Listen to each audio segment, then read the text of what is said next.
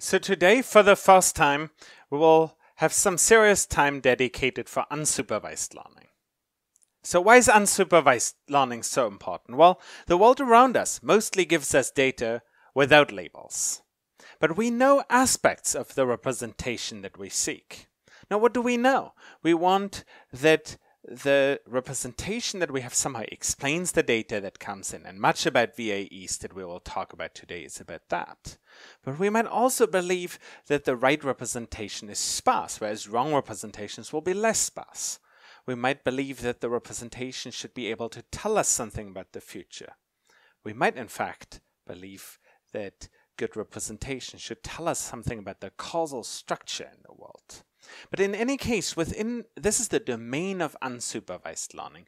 And people have long argued that unsupervised learning is extremely important. And we need to start that with the picture of a, uh, of a cake. Uh, it's been popularized by Yann LeCun, who says, well, look, if we view about the problems that we solve in machine learning, then the cake, if you want, that's unsupervised learning. Why? Because the bulk of data that we get is without labels. And then we have icing over the cake. A small amount, but it makes it more beautiful. That's supervised learning. Like in some cases, we do get labels. I might, at some point of time, have seen something like that, and someone said, That's a phone. And then on top of it is reinforcement learning, which is the so-called cherry on that cake. Why is this cherry so small? Well, the amounts of things that we try in our life is very, very small. Most of the time, we just see what happens around us. But sometimes we try something, we do a little experiment in this complex world that's around us, but the amount of information that we get from it is extremely small. Hence, that realization that basically we live in a world that must be dominated by unsupervised learning, with a little supervised learning and a tiny bit of reinforcement learning added for good measure. So, um, again, remember that we had this exercise where we said, well, um, what makes for a good representation? We said much variance should be described the kind of variance that matters for a task. It should be temporally smooth, sparse, compositional, and so forth. So now, today, we will take some of these ideas and implement it. Today is a special day because 8 is a wonderful number. So today, you get to choose your own adventure.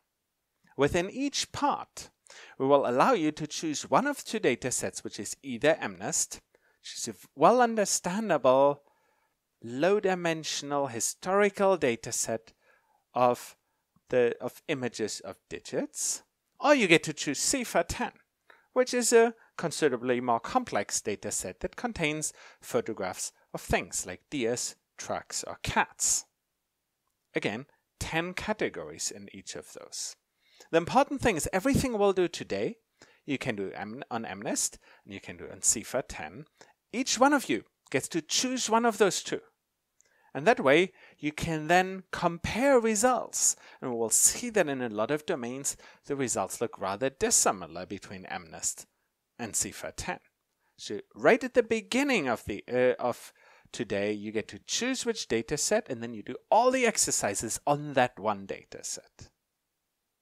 Now, images are high-dimensional structural data. CIFAR 10 images, they're color, so it's 3 times 32 times 32 channels. So it's about 3000 dimensional. MNIST images, you might remember them from previous approaches, they have 784 dimensional. Now, let's think a little bit about meaningful dimensions of variation. How many ways are there to write the two? Well, we can make it smaller, narrower, higher, uh, bolder, and so on and so forth.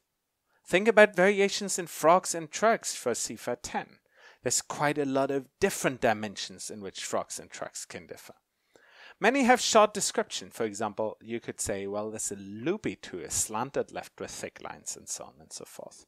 We'd like to, in a way, automatically take a data set and find out what these dimensions are along which the number 2 differs, where we can produce short descriptions. And ideally, the way to, in, uh, to invert that way can say, well, can you draw for me a bold, tall, but narrow number two. And in a way, we humans can all do that. So in this context, you can say we can view unsupervised learning primarily as compression. We want to find out the dimensions along which examples of a certain category vary. We want to do dimensionality reduction in a way.